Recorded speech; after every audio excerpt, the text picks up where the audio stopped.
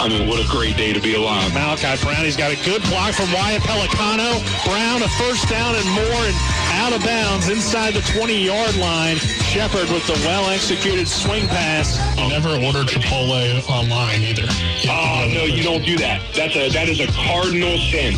You are asking to get ripped off. It's Wednesday, it's Wednesday in the Eastern Panhandle, which means only one thing matters, and that it's Wyatt Wednesday on the Sports Mix. Wyatt Pelicano joining us on the show, offensive lineman for the Shepherd Rams. Wyatt, how's it going today, man?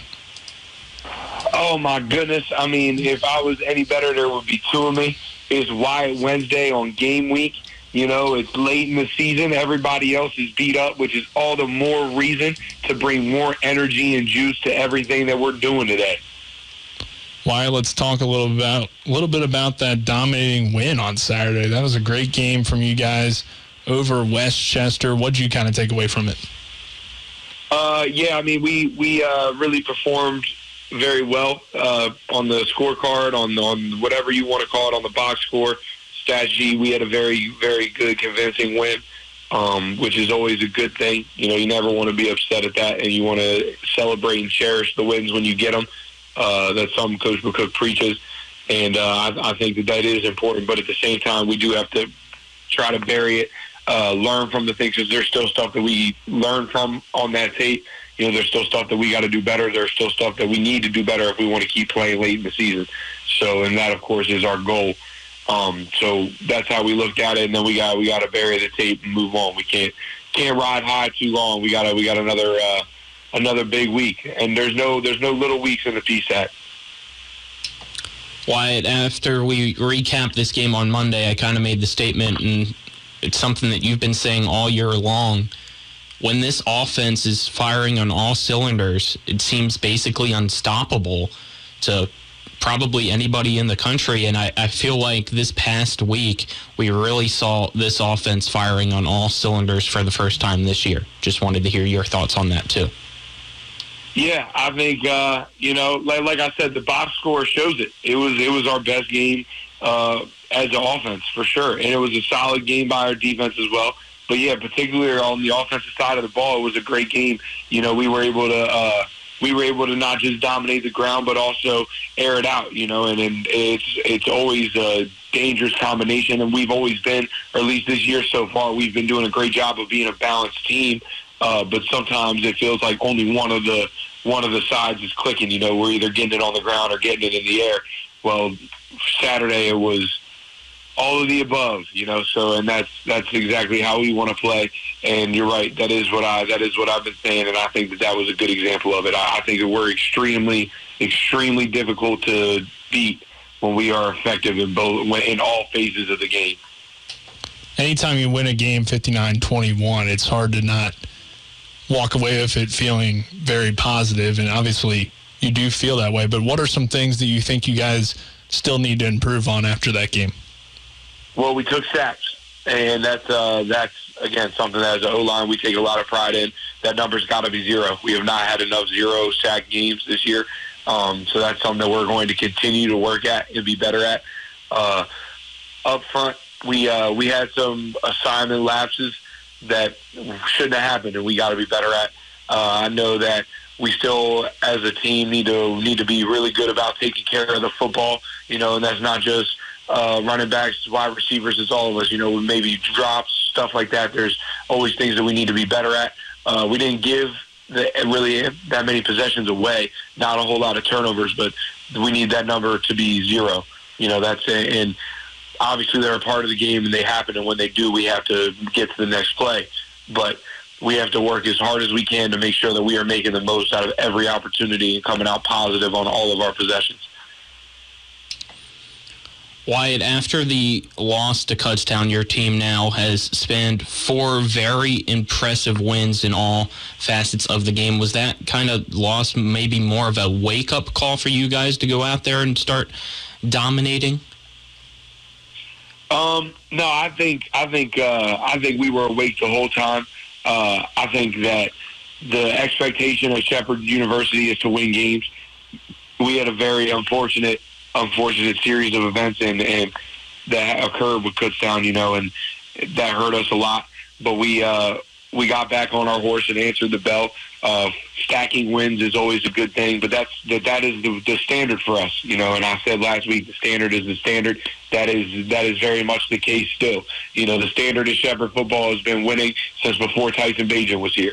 So we we gotta we gotta carry the torch even after he's gone, and for all the people before him that came and did it too. You know, the the expectation is that we are going to win games. The expectation is that we are going to be playing late into the season in the playoffs, and we are we don't want to be the team that drops the ball. You know, Team 94 is going to continue to execute at a high level until we find the success that we want. Wyatt, excuse me. Uh, last Wednesday when I was out there at practice, I heard some of the offensive linemen kind of messing with you guys a little bit about how the games have been so close this year and they haven't gotten chances to to get reps. But uh, after that dominating win, you know you do get to see those second and third string guys get in. Uh, what's that like for for your perspective as a guy that's a starter, a leader on this team to get to see some of those young guys get some opportunities? And also, West Chester still had a lot of their first teamers out there, so there's some good looks for them as well. Yeah, no, it, it's the best feeling. Honestly, it's the best feeling. One because there's a there's a rewarding aspect to it intrinsic intrinsically. You know, from the perspective of that the starters went out there and handled business to the degree that we can that we can put this game in those guys' hands, which is uh, which is always a impressive feat as a as a starting unit or as a football team. You know, that's always a good thing. And then also, not to mention that then we get to go out there and cheer on those young guys who, I mean, they're there just as long as we are. You know, they're putting in just the same hours. They're working just as hard. Uh, so it's really it's really awesome to get that to get the chance to watch them get their flowers. You know, get an opportunity to go out there and play, especially against. Uh, yeah, you're right. They did leave. They left their one line out there, I think, for their first drive. So they got some good quality reps. It wasn't. It wasn't. Uh, it wasn't scrimmage reps. You know, that's a real deal. They got to play in front of the crowd, in front of the fans, um, and that and that's a that's a life changing experience. Uh, so I'm happy that they get to watch them do that. Is awesome. And uh, yeah, it's really it's really cool just to be able to to see their hard work pay off too. Wyatt, I was going to wait until the end of our segment to kind of talk about this, but since you already started it, I'm going to jump on the opportunity you mentioned. Tyson Bagent, he got the win, his first career win in the NFL last week. It seems like all signs are pointing to him getting the start this week against the Chargers for Sunday night football. How much of the hype in Shepherdstown, how crazy has it really been this week, if any at all? Has the national media or anything kind of picked up around you guys potentially? Um, I don't know. It is. I will say it's it's it's obviously such a such a crazy crazy experience. You know, uh, just as a friend of his to watch it to watch it happen. You know, um, I, we're all so so so proud and happy for Tyson and all of his success. Uh, I don't think anybody is surprised. Nobody on the team is surprised. I don't think anybody that has been around him is surprised at what he was able to go out there and do. Tyson is the type of person where he will he if he is who he says he is. You know, there is nobody that works harder than that dude. Um, he can do everything that those guys are doing, and he's proving it. Uh, he played the game that he has always played it, which is controlling the field, getting the ball out. You know, he, he's a very, very smart quarterback, and he doesn't take he doesn't take the unnecessary risks. He doesn't have to, uh, and he's extremely effective. And it was it was so much fun to watch him play uh, at that level. And I'm, yeah, I don't know if there was really a whole lot of extra hype for us, but I will say that we were all most definitely happy for him and to see him do as great as he did. Tyson or Wyatt, you guys got to watch, uh, you know, Tyson play. At least the first half, I think it was, is what I heard from Coach McCook on uh, Sunday. So, what was that like to watch the game and, not only watch it but see him play, you know, as well as he did? It was amazing. You know, uh, we were all we were all in there. Everybody that uh, coach had the game up for us as soon as it started, which was a little bit earlier than our normal meeting time, so we weren't required to be there. But there was a good amount. There was a very solid turnout uh, for when the game started, and we all sat there and we were watching. It was it was the room was electric. You know, anytime something good happened, the whole room went crazy. Uh, it felt like we were there in, in Soldier Field. You know, so it was it was really cool, and then just to to see him perform the way he did and handle business the way that we knew he was going to, and uh, to hear his name called and give them all the praises and, and watch him, just like I was talking about with the young guys, watching him get his flowers because there is nobody that is working as hard as that dude to be the best quarterback in the NFL, and that is what he's working to be. And I think I think he has the path in front of him to achieve it. Wyatt, and a lot of people made, I don't know if you saw this heading into the game or not, but a lot of people made a big deal about the fact that Tyson's last game was, you know, D2, and, and obviously that wasn't a great game for you guys.